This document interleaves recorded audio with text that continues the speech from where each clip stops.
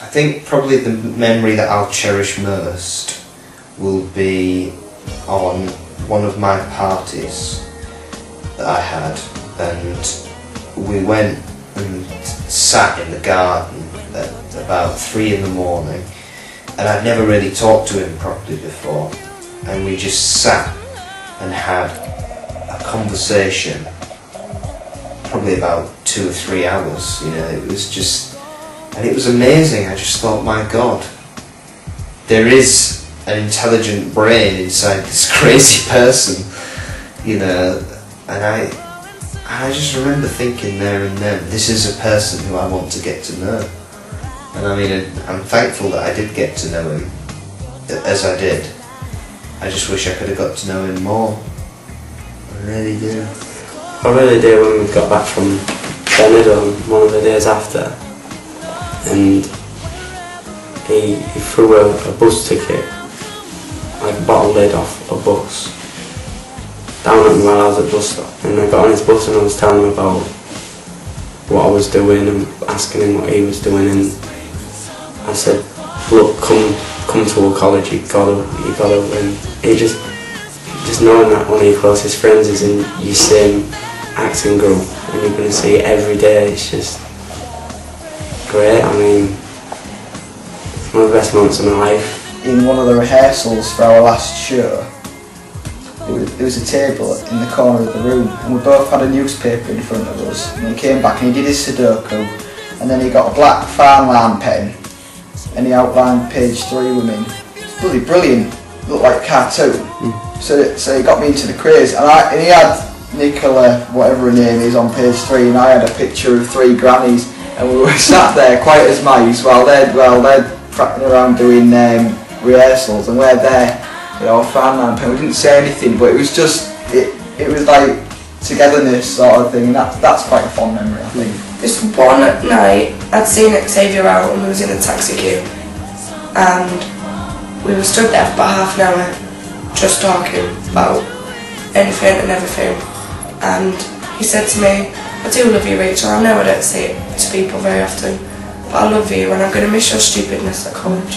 I think it was when I really got to know him when we went to London and me and Xavier went for a little walk in London and some of the lads had gone shopping and we didn't have any money and he was getting really depressed because we were going in all these designer sh- shops and he couldn't buy anything so I said right let's just walk outside of the shops so we were just walking in Covent Garden and we were talking about his family and I've never really got to that sort of stage with Eggy where he would tell me about sort of his personal life and I just learned so much about his family and how amazing they were and I have two. One of them, I can't remember where we'd been, but we ended up staying at Cat's house in the guest room, and uh, we were playing Simpsons Scrabble, and we got bored of trying to make words with what we had, so we just took them all out and started making random words. And I think we ended up talking to about four in the morning. And my other one is uh, in position, standing on one of the podiums singing "Simply the Best," but like changing the words. So it's like "We are simply the best," and that was yeah, that's my other one. Yeah. uh, was doing Aladdin the Panto, and he was wishy-washy, and I was just an extra. But we had to uh, go greet the kids off the buses and stuff, and take them back to the bus after the show. We took them back to the bus one time, and we got on the bus to you know say bye to them and stuff. And anyway, I said bye know, and I got off the bus, and then the bus driver shut the doors and turned the engine on and started to leave, and Xavier was still on the bus. And I was like screaming at the bus driver, hitting the door, like, please, Xavier's still on there, wishy-washy. And then Eggy just came down the stairs laughing his head off. And honestly, I was in stitches. I was so scared he was going to drive off with him. Brilliant. Just because the kids loved him so much, like they wouldn't let him get off the bus. Probably where I lived when he, when he was with me. Uh, just playing, was playing football one night in the corridor, and we had this little game going. Was playing little one-on-one. We had this, we invented this game with a trolley as well. Uh, and I was both in the boxes like three o'clock in the morning, just sweating. It was gross, but it was funny. Oh, and he pushed me down some stairs in the trolley. on my birthday night out, that is one of my fondest memories of him because we had a dance off in position and like um, I was going for it and everyone was filming that and cheering and then I got kicked out accidentally by taking my shirt off. well, that's on my fondest memories of him. I remember being. I remember at one of my parties, um, we had. We'd told him about a hot tub that we'd found that, that was on in someone's back garden. We'd found a hot tub. and he was like, We have to go, we have to go. And like, just ran out of the house and like, we were walking after him. And I got, we, he'd crossed over the railway station and was stood in the middle of the road. And when we crossed over the railway station, he was just stood in the middle of the road, three o'clock in the morning, with no clothes on whatsoever. It was just this brown bottom looking at me. Probably when me and Eggy did our sketch, we did a, an old men's sketch. Yeah, I love that.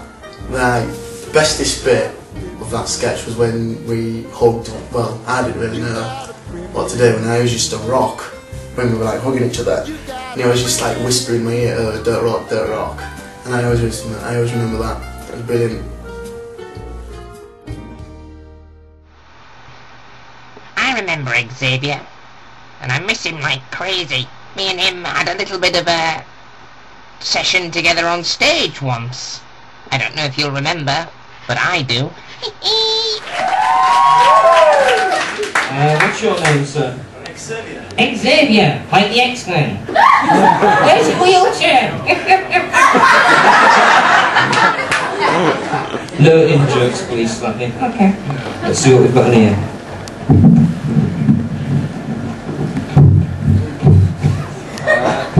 Let's see, uh, we've got, we've got, we've got a bag of laughs. Is it, is it working? Yeah, it's working. There you go. Take a bag of laughs. You've got, uh, It was a pleasure knowing you, Xavier. I'm gonna miss you terribly. We all are. Goodbye, me old mucker. He was, he's one of the best friends that I've ever lived. Uh, I've never known anyone like him. I'm just a bit sorry I didn't get to spend my time with him towards the end of the course.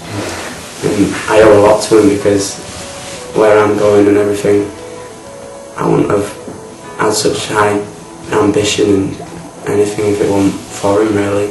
I wouldn't have known where to go, what to do, but he just helps you out like that. Puts you on track. It's just, he's indescribable, isn't he? He's just, uh, you could just say he's one of those guys who everyone knows, everyone loves, and uh, he'll just make you laugh, and he'll and you'll instantly get on with him because there's nothing not to get on with. Greatest guy in the world. Best kid in the world, you can have a laugh. No matter who he is, he'd, he'd, uh, you'll know yourself, he used to come to the parties and the people didn't know, but did like him straight away. People didn't even know him, knew of him, and he was such a character because he was such a nice guy. But it was just fantastic work. Exciting person and like you never know what you're going to get with him like if he's in a crazy mood you can just just never never know what you're going to get with him because he could start a conversation about a log rolling down the stairs and you'd have to understand what he was saying so I'd probably just say uh, be prepared for the unexpected He's like nature's Viagra. You know, he just you put him in a party and everything just goes. You know, uh, I would say that he is just insane, but funny and witty as well. My God. It's just it's just been funny memory after funny memory really. I mean he used to always be in the in the um, rooms at dinner time scrapping with Danny on the floor or knocking one over with chairs and standing getting naked and going for showers and playing cards and Sudoku. His wit was sharper than a bloody samurai sword. You know, it was just all the time. We spent loads of time just going over our lines together and just little things like just sat on our own like and we'd just be doing our lines and I'd lean my head on his shoulder and he'd whack me or something. It was just brilliant. he used to beat me up there. Yeah. He used to start so many fights with me, it was unreal. um, I used to get beaten up quite a lot because um, he just like beat me up basically I'll slap him, I'll slap him. And I, would, I never ever dared tried hitting him back because if I if I if I, if I ever hit him back or anything, he'd just do it back to you twice as hard, and you could never win because he wouldn't give up.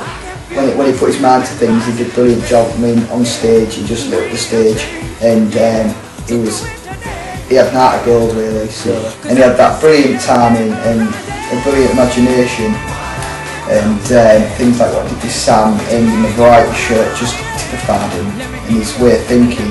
But also when he got the role of um, Roland, and Mr. Pete Lawton did a good job there picking him because he did a fantastic job and it showed what quality he had as an actor. Uh, so that, that was that was a real highlight as well, seeing him get that role.